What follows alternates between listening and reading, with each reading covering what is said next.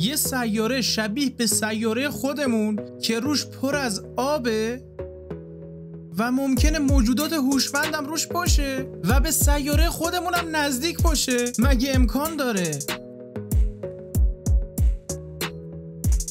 در فاصله 120 سال نوری از خودمون یه سیاره فراخورشیدی وجود داره که به طور عجیبی می‌تونه میزبان حیات باشه. اسم این سیاره K218b که اسمش بیشتر شبیه پلاک همدانه. اما دنیای بسیار زیبایی داره و در این برنامه قراره باسنمون رو تنگ کنیم و ریسک پا گذاشتن به این دنیا رو بپذیریم.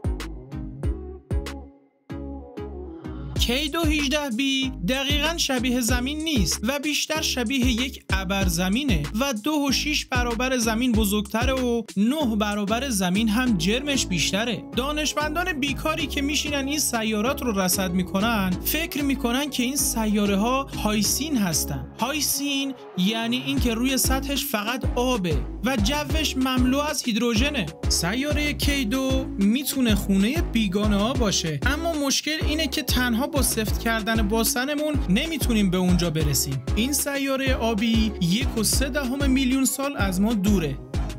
تاکید می‌کنم آ میلیون سال.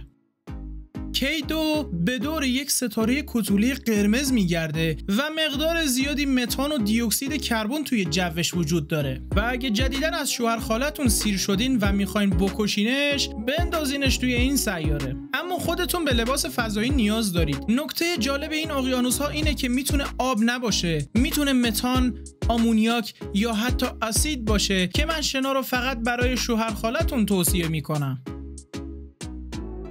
سیاره K12 دمای ملایمی نداره. دماش منفی 100 درجه سانتیگراده و این برای یه جهان که به دور یک ستاره کوتوله قرمز میگرده کاملا عادیه. هیجان انگیزترین چیزی که در این دنیا پیدا کردیم اینه که می‌تونه آثاری از دیمتیل سولفید داشته باشه. این مولکولای شگفت انگیز در زمین فقط توسط موجودات زنده تولید میشن و امکان داره که سیاره K2 خونه این موجودات بیگانه باشه. البته دلتون رو برای حیات بیگانه هوشمند خوش نکنید. یه چند تا میکروب و یه چند تا جلوک و اینا هم پیدا کنیم. کلی هنر کردیم.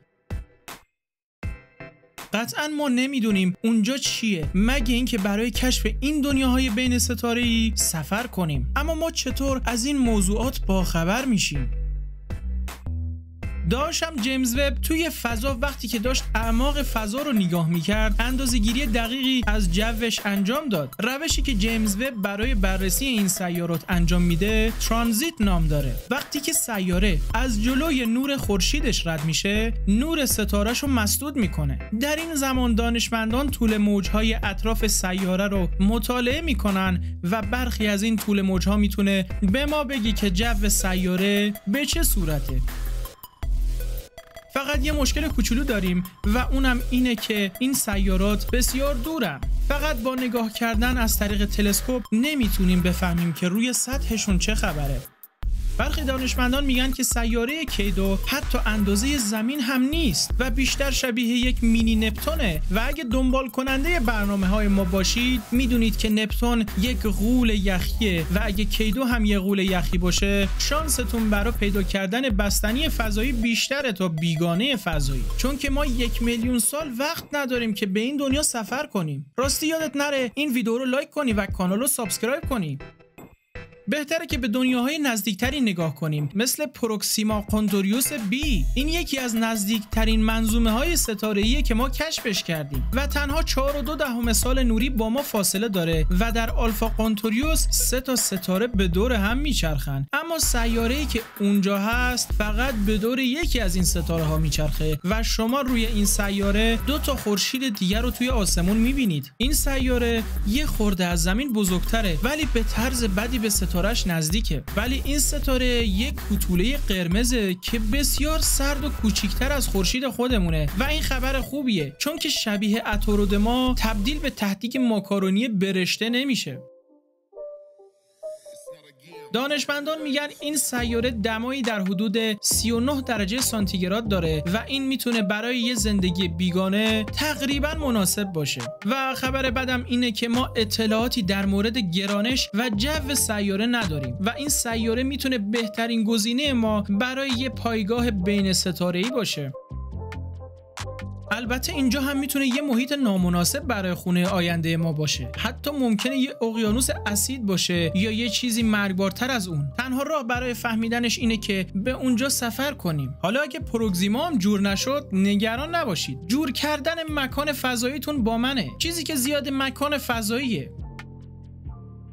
روز 128b یه مکان فراخورشیدی دیگه است که 11 سال نوری با ما فاصله داره. این دومین مکانیه که دانشمندان احتمال وجود حیات رو درش میدن یا اون رو قابل سکونت برای انسان می‌دونن که البته از پروگزیما امیدوار کننده تره. هر دوی این منظومه ها به دور ستاره های کتوله قرمز میچرخن. اما ستاره پروگزیما فعالتره و گاهی فوران می‌کنه و پروگزیما رو در تابش های خودش غوطه می‌کنه. اما ستاره روز بی زیبا و آرومه و کلا بچه خوبیه.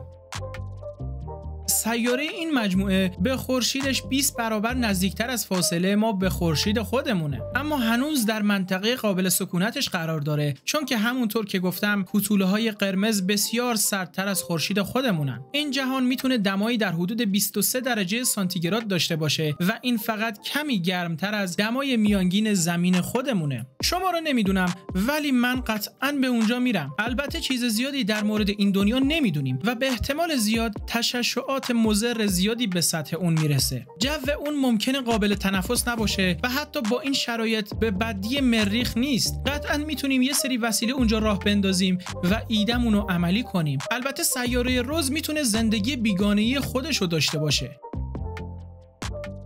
اگر روز 128 بی دارای حیات باشه قطعا با اشکالی از حیات که ما می‌شناسیم متفاوت هستند یه لحظه بهش فکر کنید. ممکنه خیلی چیزا اشتباه پیش بره. ممکنه اصلا تا اونجا نرسیم و جون سالم به در نبریم. ما تا الان 5000 دنیای بیگانه رو کشف کردیم و 63 مورد از اونها برای ما قابل سکونت هستند اما تا زمانی که به اونجا سفر نکنیم نمی‌تونیم با اطمینان حرف بزنیم. بیشتر سیاراتی که ما رصد کردیم آدم تخم نمی‌کنه. به سمتشون بره و بسیار وحشتناکن. یه سیاره فراخورشیدی وجود داره که حتی بیشتر شبیه به زمینه. اما این دنیای آبی جای خوبی برای سیزده بدر نیست و اگه به سطحش پا بذارید در عرض چند ثانیه میمیرید. حالا شما به من بگید. به نظر شما ارزش داره که بارو بندیلمون رو ببندیم و یه گروه مستقیما به سمت یکی از این سیارات بفرستیم؟ لایک ویدیو فراموش نشه. تا یه برنامه دیگه. خدافظ.